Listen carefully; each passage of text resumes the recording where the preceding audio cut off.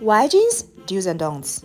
Don't wear white jeans with black shoes, especially booties or mules. These cover too much of your feet and make you look bottom heavy and never look good with white jeans. Do you wear white jeans with nude color shoes? They elongate your legs and they go perfectly with the white color. Don't wear white jeans that's too tight. White denim tends to fit smaller than regular jeans. If they're too tight, they're only gonna make your tummy look bigger and they're uncomfortable. Do you wear wide jeans that's mid-rise or high-rise?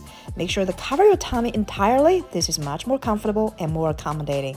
Don't wear wide jeans with a long top. It cuts your body in half and make your legs look shorter. Do you wear wide jeans with a shorter top?